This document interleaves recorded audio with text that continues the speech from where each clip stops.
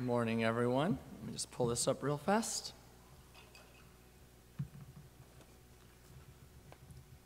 So this morning's uh, plenary panel, you'll notice, doesn't have a theme the way that a lot of the panels have been activist repression or paths to liberation.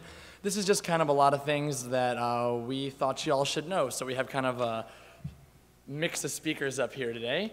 And what I'm going to be speaking on is a new uh, strategy we have called sustained vegan advocacy. Uh, and it's something that we feel is really important and can be applied even to non-dietary uh, campaigns you're working on. And I'll explain what this means in a second. So it's a strategy that basically in just one program can take people through all three steps of social change, which is the alerting stage, kind of getting them aware of the, product, uh, the problem, the discussion stage, which is where people start to dialogue about these problems, and that should say one, two, and three. Um, and the reform stage, where, uh, where they actually start to make meaningful changes. And in more targeted business campaigns, this might look like the alerting stage would be a protest where the public becomes aware of this issue. The discussion stage would be after your protests start becoming effective, you go and negotiate with them to get a change made. And then in the reform stage, you finally see some meaningful you know, policy changes. And this isn't usually applied to individual behavioral change, but we need to take our advocacy behavioral change efforts just as seriously as we take our hard-hitting campaigns. And I'm a big supporter of the hard-hitting campaigns that these two over here work on, but I think that we need to take the same kind of savvy that they bring to hard-hitting campaigns and bring it to the friendly behavioral change uh, campaigns. And it's needed because our movement has recently made great strides in focusing on results-based outreach instead of you know, merely just throwing our message out there and hoping it sticks. But unfortunately, there is evidence that a lot of people who attempt a vegan or vegetarian diet don't stick with it. And some studies, including the Psychology Today one, demonstrate actually that up to 75% of people that explore a vegan or vegetarian diet might revert back to meat eating. And this is a huge problem. Obviously, one, because it means that three fourths of our efforts might be wasted because they just turn around and, and go back on it. But those people also might be significantly harder to reach in the future because they've already considered trying to go vegan and now they think it's too hard or too difficult and they might be harder to reach now than if we had never reached them to begin with. So this is really super crucial that we don't lose this, you know, maybe up to 75%, but even if it's 25%, even 25% of people going back is really, really unacceptable and we need to find a way to deal with this. The top reasons that they give for reverting back are health concerns, social pressures, and they just like the taste of meat. And I have a feeling that a lot of those health, health concerns are actually a version of social pressure still, which is they say they don't feel so good, and then someone says, oh, it must be that new vegan diet of yours, then instead of trying to look into it a little deeper, they just end up kind of bowing to social pressures, which means that we actually can deal with this. You know, we can deal with how to make veganism less socially awkward, how to make uh, veganism taste better. Uh, so I'm going to use a case study of our 10 Billion Lives tour as an example of how we're trying out this new sustained vegan advocacy uh, strategy. And so I'm not just here to brag about our program. I'm not going to try to mention our program too much. I just want to use it as a case study to explain how we've made this start working and how hopefully you all can take this into your efforts. So on the Vans Warped Tour and in a couple uh, weeks of touring beforehand, we have gotten 30,000 people almost to watch a four-minute video that we have paid them a dollar to watch. And the dollar is worth it because 84% of them have committed to eat more vegan products afterward and fewer animal products afterward, which means that really the bang for your buck is cheaper than almost any other form of advocacy there is. So the steps to realizing this change in this sustained vegan advocacy uh, strategy are first, obviously, to engage the target audience. We focus on youth, we focus on the well-educated, the kind of semi-rebellious people, basically people who are ready to not just hear our message, but quite possibly take it a step further and actually take action.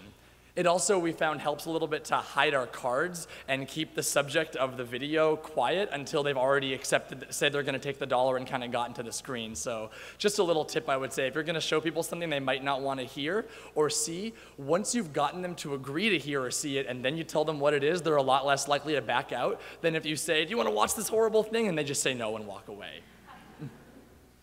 Uh, step two is to get a commitment, and this is really crucial. Research shows that getting a commitment substantially increases the likelihood that someone will follow through and actually do the behavioral change we want them to. So we have an online version of our pay-per-view where instead of paying them, we have the we give them a chance of winning movie tickets, and this is a screenshot of that, but it works basically the same on the truck, except on the truck, instead of saying you're entered to win the movie tickets, it says you enter that you'll get your dollar, basically.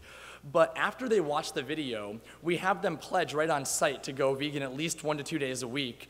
And by having not at this time kind of the last option, like no one's gonna watch a four minute horrendous video of animal cruelty and kind of scroll through all these options and go, eh, no thanks, not at this time. And by no one, I don't mean no one, but only 15% of people do that, which I think is a pretty great number. So this commitment is a really, really big part of sustained advocacy. Uh, this should also say three. I don't know what happened with the PowerPoint on this computer. Um, uh, but the third part of this is the foot in the door, which is by getting this commitment and getting their email address, which every single person that watches the video, we get their email address, whether or not they pledge to eat more vegan food. But by getting the commitment and the email address, we now have a way that we can kind of get our foot in the door and keep the communication going with them. Because when we have like a targeted business campaign, we have constant access to them, right? We know where their doors are. We can come back every day or every week or every month or whatever frequency we want to. We can keep coming there and keep dialoguing with them or keep protesting them if they refuse to dialogue with us. But when it comes to interpersonal, you know, uh, you know, conversations and behavioral change, we usually only have one chance to get the foot in the door with these people. We can't continually see the same people over and over again in most situations. So in that first time that we reach them, we need to get a way to reach them again in the future and again in the future. And so the fourth part of this is to, once we have reached them, utilize social norms by telling them that they're part of a large amount of people that are making this change too. They're not alone. Show them that veganism is popular, and show them that it works and actually effectively reducing animal consumption. Uh, and not just consumption, but animals raised, for, raised and killed for food. And, oh, I guess my five showed up for some reason. Uh, it likes that number. Uh, so the fifth part of this, and this is really the critical part that I don't think is always being done in our advocacy, is to offer support resources. And it can be as simple as just a brochure, a website, or a guide, but we find that personal follow-up works best. This is the brochure that we give on the 10 Billion Lives tour. And it's kind of one of a kind because as far as we know, it's the first time that we've included a vegan coupon right on the brochure that they get. So they watch the video, they commit to eat vegan foods, they get a brochure with more reasons to go vegan, and right there they have a coupon and a recipe that uses that exact product in it. So they can start their vegan path literally the moment that they leave the interaction with us. And the follow-up, the more personal, the better. So we have a personalized email system that we send every person who pledges to eat more vegan food. It's got their name, it's got how many days a week they pledge to eat, and how long they've been pledging for. So every three months they'll get an email that basically looks something like this. You know, hey Michael, uh, it's your friends at FARM, you're making a difference in the insert here three months since you've pledged to eat fewer animal products three to four days a week, you have now made this big positive impact by sparing 21 animals from being raised and killed for food. And this number would change based on how long they've pledged for and what their frequency of pledge is. So they get this highly personalized follow up telling them exactly what difference they're making in the world.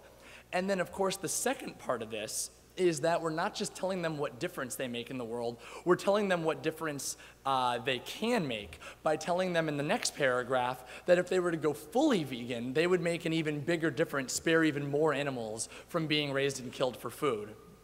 And so I'm keeping this real short because we started a little bit late today and we've got two awesome presentations afterward, but I just, or three awesome presentations afterward. Sorry, Victoria. um, but this is something that, again, I think can be applied to all of our efforts. It's a new outreach strategy. It's not perfected yet, so I'm not trying to tell you all how to do something. We're open to feedback, and we hope that people do improve this and keep it going. It can be applied, I think, to any behavioral change. So if you're running a campaign to get people to not go to the circus or to stop buying fur or really anything that you're asking for individual behavioral change, I think it's critical that we find a way to keep the dialogue going with those people, that we don't just hand them a leaflet and and have them walk away forever and never hear from us again, but that we actually have a way of assessing how many people are following through with this change so that we can improve our efforts in the future. And like I've said before, just as campaigns against businesses and to change governmental policies continually check in to ensure that their reforms are actually being implemented properly, you know, it's very rare that we have a, a new change that happens with a business and we just trust them that they're doing it and walk away, right? If some organization or some business says that they stop testing on animals, we don't just take their word for it. We check back in, we check back in, we check back in, make sure they're telling the truth. And so, in a less confrontational way, I think we have an obligation to do that with the individuals we reach too.